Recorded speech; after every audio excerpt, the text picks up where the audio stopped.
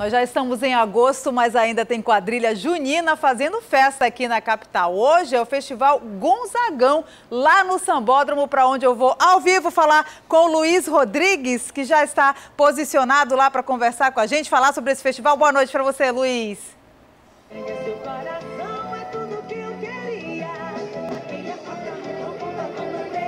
É isso mesmo, Mariana. Boa noite para você, boa noite a todos vocês que nos assistem pelo Jornal e Tempo nesta edição de sábado. Estamos aqui no Sambódromo, onde vai acontecer logo mais às 8 horas da noite a programação do Festival Gonzagão, que é o quarto festival de quadrilhas juninas. E aqui ao meu lado, Márcio Oliveira, que é organizador do evento, que vai explicar para vocês como vai funcionar. Quer dizer que começou ontem, mas tem muita coisa ainda para rolar no festival.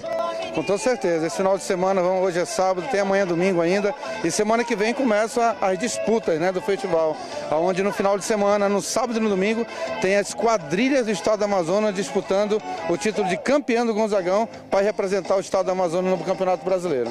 E olha só, tem muita coisa por aqui, né? A partir das 8 horas tem muita barraca para você vir com a família toda, né, para participar, para comer comidas típicas e um parque de diversões para criançada. Ou seja, programação de sábado, você pode passar aqui no Festival Gonzagão que com certeza você vai aproveitar o seu final de semana. Eu volto contigo, Mariana. Obrigada, Luiz, pelas suas informações. Hoje é dia de muita festa aqui em Manaus. Agora eu falo de futebol, porque o Manaus Futebol Clube viajou nessa sexta-feira para Santa Catarina, onde participa de mais um duelo do Campeonato Brasileiro Série D, que acontece amanhã. Os detalhes com a Samara Maciel. Exatamente, Mariana. Amanhã o Manaus enfrenta o Brusque em Santa Catarina, primeiro jogo da final do Campeonato Brasileiro Série D. O Gavião do Norte tem vivido momentos históricos no futebol amazonense, já que desde a década de 90, nenhum outro time aqui do estado conseguiu subir de divisão em um campeonato nacional. Na tabela de classificação, o Manaus ocupa o primeiro lugar do grupo A2 com 14 pontos. O jogo de volta acontece no dia 18 de agosto, às 15 horas, na Arena da Amazônia. E os ingressos começam a ser vendidos na próxima segunda-feira, no valor de 30 reais meia entrada, em 14 pontos diferentes aqui da cidade. E as crianças até 12 anos de idade têm entrada gratuita. A expectativa do time é de lotar mais uma vez a Arena da Amazônia nesse jogo decisivo e conquistar o Brasileirão. Volto com você ao estúdio. Obrigada, Samara. Eu tenho certeza que vai ser a arena, a arena lotada de novo, né? Olha, eu falo do Dia dos Pais agora. A gente já está na reta final aí para a compra dos presentes, né? O Dia dos Pais comemorado amanhã e hoje o centro de Manaus ficou bastante movimentado. Confere aí. Faltam menos de 24 horas para a comemoração do Dia dos Pais e talvez você ainda não tenha comprado o presente ideal. O centro está a todo vapor e uma boa música pode te ajudar na criatividade de presentear o seu paizão. Roupas, calçados, relógios e aparelhos celulares são os presentes mais desejados pelos pais. Mas tem gente que sonha mais alto, não é mesmo, seu Jorge? Se fosse, se fosse hoje, eu gostaria de ganhar um carro, né? Mas como é que. Bom, o seu Jorge já escolheu dele. Mas será que os atrasadinhos que estavam no centro nesta manhã já sabem como presentear neste domingo? Ainda não. Ainda estou escolhendo. Está escolhendo? É, não estava fácil para escolher o presente. Imagina para Yacimara que tem que presentear pai, marido e genros. Estou procurando, já comprei para um, agora estou à procura do, do outro. Tá fácil de encontrar? também. Ainda vai presentear o genros? Sim, os genros também. Então a senhora sai no mínimo com cinco sacolas aqui? Com certeza, se Deus quiser. Tá bom para encontrar hoje aqui no centro? Tá muito bom, tá tranquilo, bons preços, maravilhoso. Mesmo com o comércio menos movimentado do que no Dia das Mães e Namorados, o Dia dos Pais registrou um crescimento nas vendas de 2,1%, como fica provado com a movimentação deste sábado. Compras feitas, é hora de esperar um belo domingo regado de muito amor e carinho. Um feliz Dia dos Pais! Pensa que é só o centro que está movimentado? Né? Não, eu vou agora ao vivo para um shopping na zona centro-sul de Manaus, porque a Samara Maciel está lá para mostrar a movimentação. Quero saber, cadê Samara? Se tem muita gente por aí, Samara. Boa noite para você. Boa noite, Mariana. Boa noite para você que acompanha o Jornal em Tempo.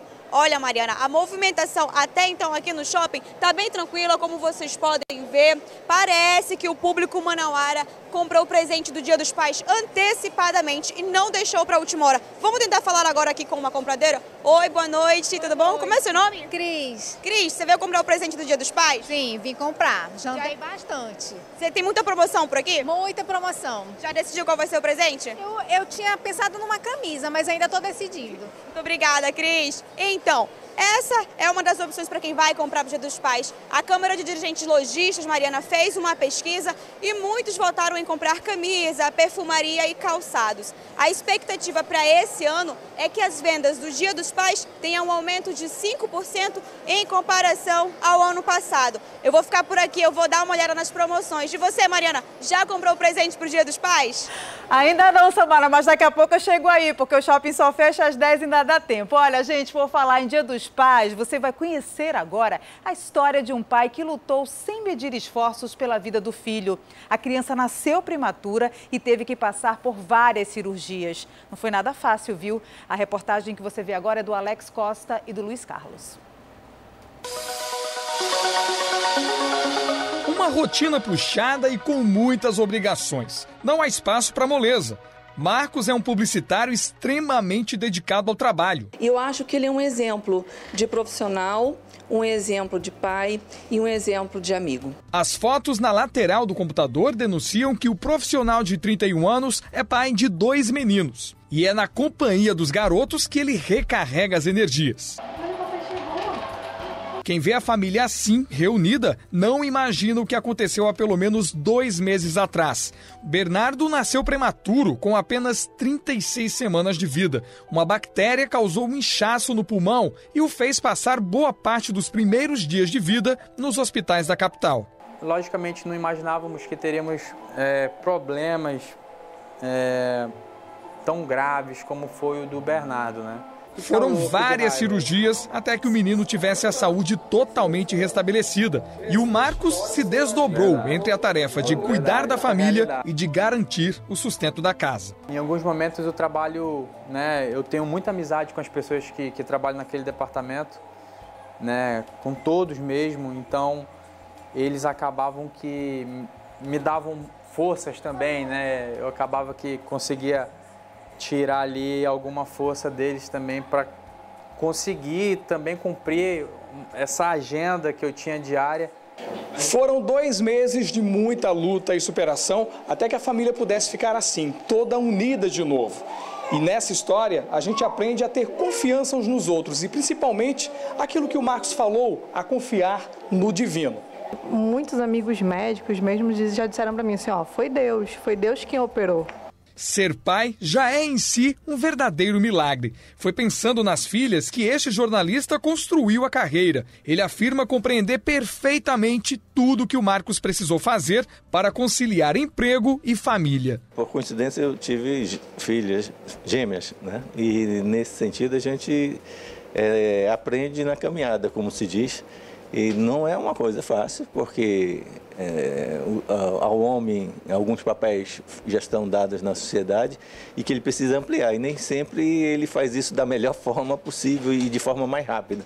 Então eu acho que assim, o Marcos aqui na, no, no grupo é uma, uma figura referência, é, tanto do ponto de vista profissional, mas também como pai. Pai, uma palavra com apenas três letras e com um significado tão profundo, um legado de vida que transforma qualquer ser humano para sempre.